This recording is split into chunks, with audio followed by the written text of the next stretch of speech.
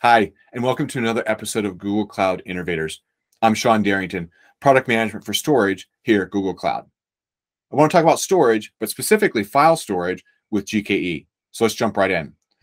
FileStore is a managed NFS offering from Google Cloud that supports the open container storage interface for easily provisioning storage resources to one or multiple PVs.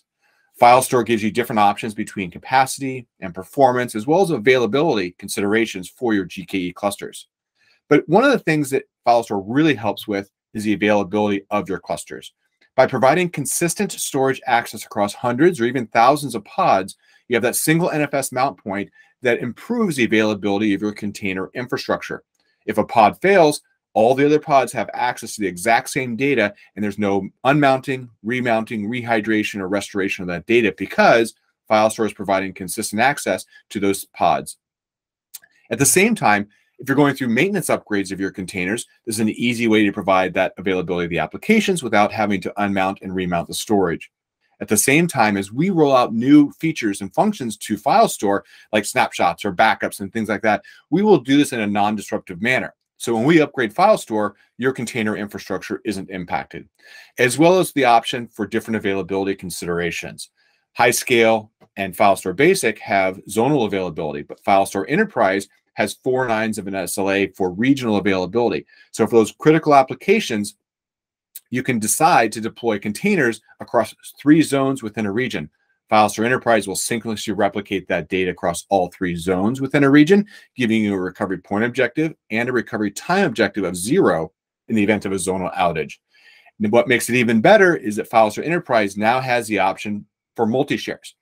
Multi-shares gives you the option to carve up a one terabyte or larger instance of FileStore Enterprise into 10 gig or 100 gig shares to use across multiple PVs and multiple pods. So this gives you the option to maximize that storage capacity utilization. But let's see it in action in a demo. So let's get started. Uh, so first of all, we're actually going to create a cluster uh, in GKE. We're actually going to use the autopilot capabilities to make things uh, simplified.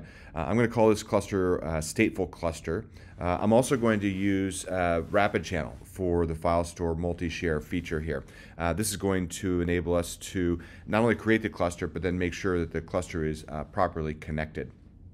So I'm going to click create here and uh, now I'm going to begin to configure the managed storage uh, with FileStore. This is going to use a CSI driver, the um, Kubernetes storage interface uh, for this. It's going to make it really simple to do. I'm um, also going to show you the YAML file here for the storage class. Um, this shows you the storage class is using FileStore Enterprise, which is important, but you also want to make sure the multi-share is set to true. This is going to give you that functionality to have the smaller shares um, down to 10 gigabytes, if you will, within uh, FileStore Enterprise.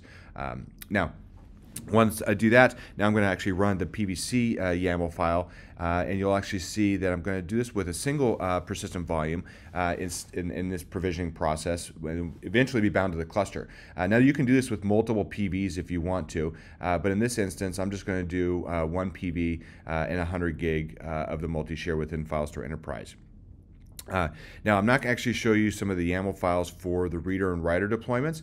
Uh, the reader pods uh, are actually going to be exposed by the load balancer for users to view. And this is what I'm going to actually show you at the end here to show you how uh, the multi-writer capability of FileStore supports this. Um, we're going to just choose uh, 20 writer pods. Uh, these will all simultaneously write to the same shared storage every 30 seconds. So in this case, it's writing to that one PV uh, FileStore Enterprise that I created uh, every 30 seconds. I'll refresh it so you can see uh, that increases. Also skip the, the YAML file for the load balancer. this basically just exposes the reader pod to FileStore. And here's the URL that I clicked on to actually show you that I've got 20, um, uh, 20 writer pods writing. And as I refresh this, you can actually see that it's recording all the writers that are writing to the shared NFS file system, uh, the enterprise uh, uh, that I just created. Uh, it'll actually show you when I refresh this that the same um, uh, writer host names match each other as you go through this. So that's as easy as it is to use FileStore Enterprise with GKE and Google Cloud. Thanks for watching and subscribe for more Google Cloud Innovator videos.